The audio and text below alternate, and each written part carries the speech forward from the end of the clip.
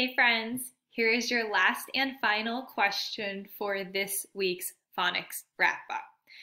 Please make sure to find the correct choice in the answer key below. Ready? How do you spell the sight word because?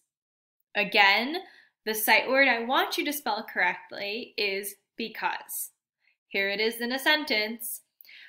Where can I get some apple pie because I am very hungry and enjoy a delicious, yummy apple pie. Good luck!